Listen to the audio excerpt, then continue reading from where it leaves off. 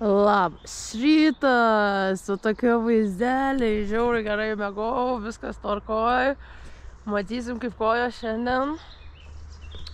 Tikiuosi viskas bus gerai ir galima bus įmyti toliau į stačias įkalnes. Tai va, tai iki miestelio, kito miestelio, nes šitas man per didelis. o, dvi valandas, 5 kilometrai, pusę kelią į kalnę. Po to vėl į kalnę. Tai va, matysim. Kylam! Kylam!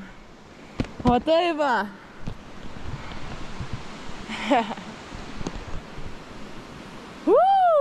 Kovas kol kas gerai šiaip. Kol kas gerai. Matysim kaip vakare. Nes vakar vakare tai gavo krūvę, nes buvo statu. Dabar va čia yra netaip statu, pavyzdžiui. Nu va, toj pasieksiu tą atkarpą, kur man va jau į kairę reikės sukt. Uh! O į dešinę tas pasą pardoj, kur liks va. Neprabūtas, taip normaliai jau. O dabar prasideda pasą selą. Užkilsim.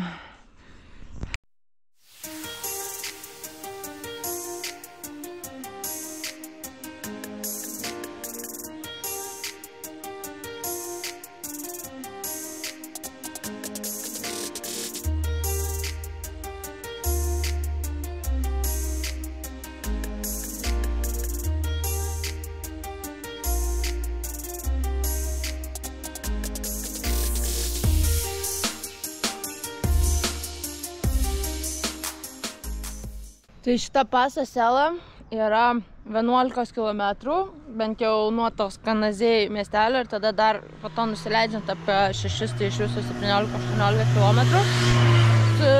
Šitas e, e, procentas tai 11,5-12 maždaug, tai jaučias, kad šiek tiek lengviau išties, bet dar reikia padirbėti iš tikrųjų. Bet e, viena tokia irgi iš įspūdingesnių perėjų ir atvažiuoja dar ir dvirtininkas. tai va, tai iš ties vaizdai čia irgi įspūdingi. Nu, čia visur dolomitas iš ties įspūdinga viskas ir verta viską padaryti. Jau tiek pakilau, nuostabus vaizdai, tai iš tą slėnę atvariau. Slėnis po slėnę, įkalnę po įkalnės, kalnas po kalno, judam.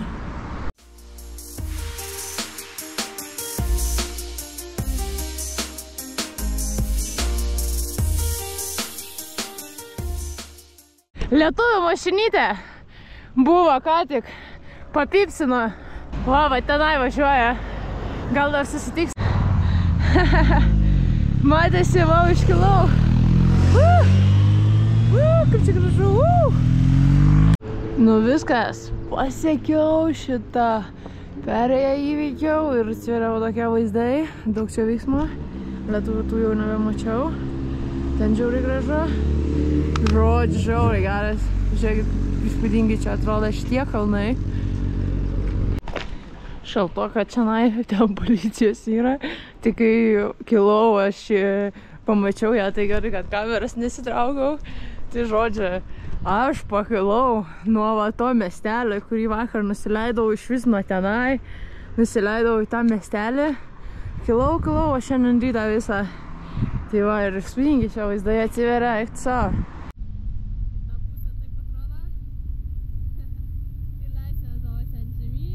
žemyn, vat, ten man atrodo į tą slėnį. Gaila, kad šitų kalnų viršūnės pasislėpusios po debesiukais ir nesimato. Bet nieko, čia kažkaip daug veiksmo irgi. Apylinkas tikriausiai tokios populiaresnių jau. Nors ar gražiau čia? Sunku pasakyti, sunku šiek tiek atsidengia, bet dar vis tiek slepiasi. Saulytė apšvietė tenai visus kalnus. Tai va, tai sumontavau čia video. Reikia kelt, reikia žemiau nusileisti, blogas ryšys. Ir tada judėsim toliau į populiarią vietą. Pažiūrėsim, ar šiandien spėsim ją pasiekti. Matysim. Va, dviračių plovykla. Nemažai dviratininkų ten nuvažiuoja. 6 eurai. Paprastas plovimas, jeigu aš neklystu, vada matau liktais jo. O kaip plauna. tai nusileidau va, iš tenai, dabar kilsiu ten, mačiau žiauriai gražius kalnus ir ten bus mano tas tikslas, tai kelią va dabar blogelį, dar greit su mištinuku suvalgau ir manau gal ir spėsim šiandien visai ten pakilt, tada vėl leisimės, vėl kilsim. Nu tai čia visą laiką taip realiai, iš vienos lėnio į kitą, prie to kalno, prie to kalno, taip ir važinėjau.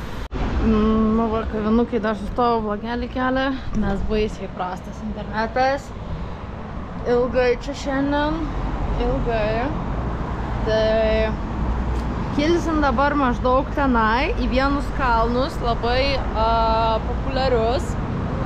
Nežinau irgi, ar pavyks su dviračiu privažiuoti ir aš nežinau, ar šiandien jau spėsiu, nes bus sukilimas. Manau, maždaug ten užkilsiu kažkur, pernakvosiu rytoj ryte startuosiu, turėtų atsiverti spūdingas vaizdas, nes nuo to kalno, kur šiandien buvau, jau filmavau ir jie matėsi, bet noriu arčiau privažiuoti. Tada grįšiu atgal ir tada į kitą vietą. O, tai irgi turėtų pasimatyti spūdingi dar kalnai rytoj. O po to, po to jau judėsiu toliau. Tai šiai nakčiai ir kitai maždaug net šitose apylinkėse ir būsiu. Tai va, nes jau realiai iki to susikirtimo taško, kur aš pradėjau visą ratą, liko ne per daugiausiai kilometrų išties ir tada atgal, atgal užtruks dvi dienas. Kažkokiam, va, miestukė. Gerai. Žodžiu, irgi vienas įspūdingesnių tų kaimukų įkalnės tai baisiai vargina. Va, pareina haikintai nuo to kalno, į kurį aš dabar važiuoju, pavažiuoju šitą, Otladė Valdusą. Jisai matėsi šiaip nuo ten, kad reikia kažkaip užkilti, čia nežinau, ar bus galima su dviračiu pa, pasiekti. Man rodo visą laiką tiesiai praktiškai. Ir tada dar truputį lenktą ratą ir tada, kai pakilsim, bus galima į kairę pasukti Ir čia dar vienas kalnas yra, Sedeca, žiauriai populiarus irgi. Tai matysim, ar pavyks čia tokiu maršrutu.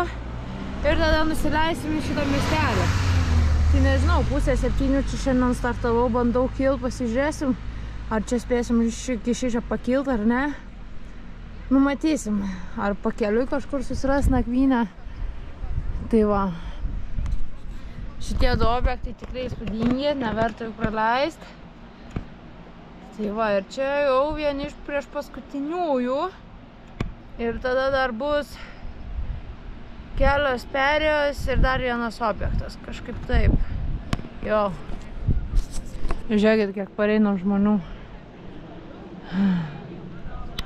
Čia belė koks statumas yra, bet čia daug nakvynės vietų. Tai tas kalnas jau matos prieš mano akis, bet sunku bus jį šiam pasiekti. Tai va, nežinau, belė kiek daug jėgų reikia, bei žiauriai daug žmonių. Jie dabar čia eina. Tai jo. O čia nėra taip ir toli, 3 km, bet atrodo, kiek minučių važiuoja ten už to miško, ant tą kalną iš karto. Ai, nuvažiuojam šiandien, manau. Tada rytoj liks tas sedeca. Jo statumas. Kaip jums toks statumas? Bet visada blogiausia, kai eina kelias tiesiai. Statumas toks, kad net ratai prasisuko. O čia jau baigas ir asfaltas. Turim problemytę. Vienas dalykas labai statu. Antras dalykas ne asfaltas. Trečias dalykas prasisuka dviračio padangas galinės ant lengvasio, kai varau. Varau net atsistojus. Ir penktas dalykas, net truputį pasivedžiau slysta batai. Nes svoris yra. Ir, nežinau, neįsivaizduoju, kaip tas kelias eina toliau. Arba į man... Ko čia toks mašinas visą laiką važiuoja? O, kaip slysta dvirkas, žiūrėkit. Palaukit. Eik, vis trauksiu kelią.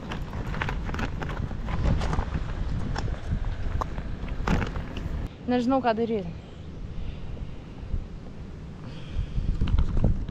Būtų asfaltas dar, dar, bet čia dabar, nu, prasysiu karatai. Pliušinė kalnų perė. Ir...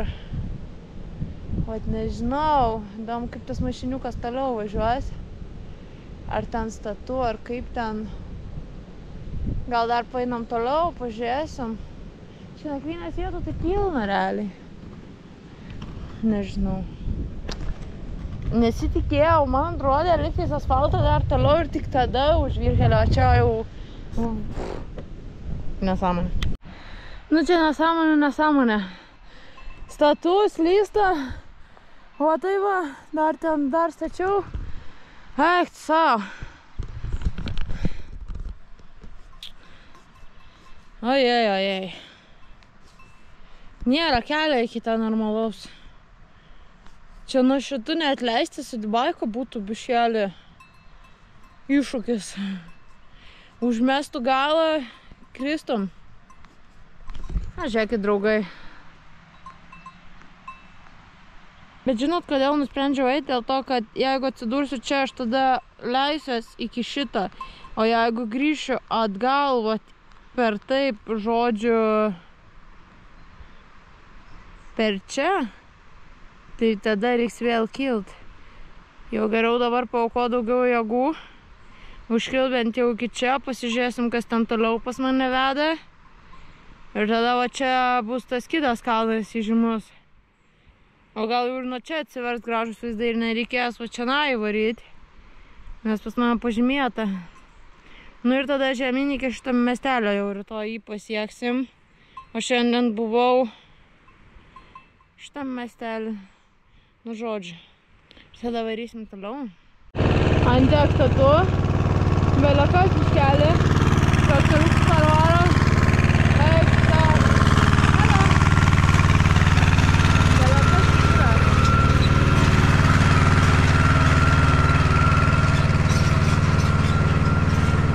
Jau kažkas matas, bet čia va statumas.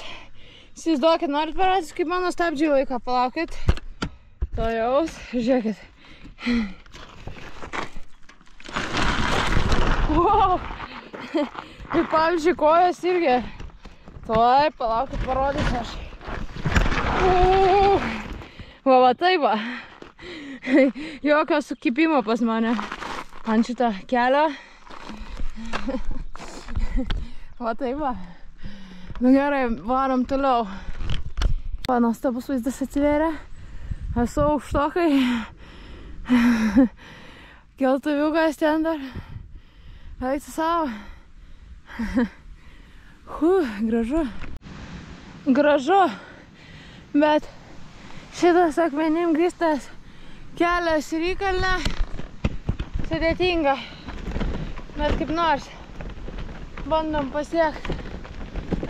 Būtų gerai, tada rytoj greičiau apsisuktumėm. Šiek tiek. Bet šiaip viskas pagal planą. Kaip ir turi būti. Plano laikausi, viskas tvarkoja. Tik dabar veduos, nes čia biškelį nesąmonė. Va toksai va. Šunkelių, šunkeliai. Kažkas jau matas. Jau matau pabaigą tenai užkilus, bet dar tuo pačiu keliu. Va, tai belio kaip slysta šį čia. Žiauriai gražu, eik savo. Čia dar matosi. Uu, kelią. Dar kol šviesą reikia varyti. Esu čionai dabar. Čia 2005 metrai aukštis. E, Šitie kalnai 3025 metrų aukščiausia viršūnė. O čia dar rodo va taip eit, bet ten jeigu eisiu toliau šiandien, nes jau tuoj devynios, bijau neras nakvynės, nors čia būtų, bet bus šalčiau. O čia man patinka, soliukas yra, va. galėčiau čia prisiglausti, ten kažkur namukas viens yra. Aišku, čia, nu, takas, žmonės gali būti, kad ryteis, bet aš manau, aš anksčiau atsikelsiu už juos. Ir rytą būtų fainai sutikti, o dabar pakelsiu droną dar. Ir tada jau rytoj tiesiog pakilt šiek tiek. O, ir tada vat realiai leisios. Leisios, leisios, leisios, manau. Turėčiau leistis. Ir tada čia dar bus e, Seduca kalnas. Ir tada leisimės į miestelį, kur išgersim kavos ir važiuosim toliau. Nu tai ką, kaip ir pasirašiau savo būdą. Matysim, kaip čia gausis, bet iš šito turėtų būti gražus vaizdas, bet o dabar tai va, apsiniaukia, tai jeigu būčiau kilus, aš būčiau nieko nepamačius. Tai ir iš šito bandysim pamatyti. Pasižiūrėjau per droną kažkaip ten įdomiai, ten tie takai eina. Nu įdomu, įdomu, ką rytoj čia pamatysim. Gana aukštai esam. Pirmą kartą turbūt mėgosiu 2000 metrų sukilime. Matysim. Ar kokie gyvūnai naktiniai išeis. Čia, kadangi Alpėse jų yra nemažai. Tai bet čia gyvenvietė apsitvėrę. Kažkur ten namukas. O matos. Ir dar už to miško čiučiut yra hotelis. Tai va, bet čia jau toks takas, žinokit, čia jau beveik nieks nevažiuoja. Tai va, gal čia lentelė informacinė kažką rašo. Reikia pasiskaityti gal.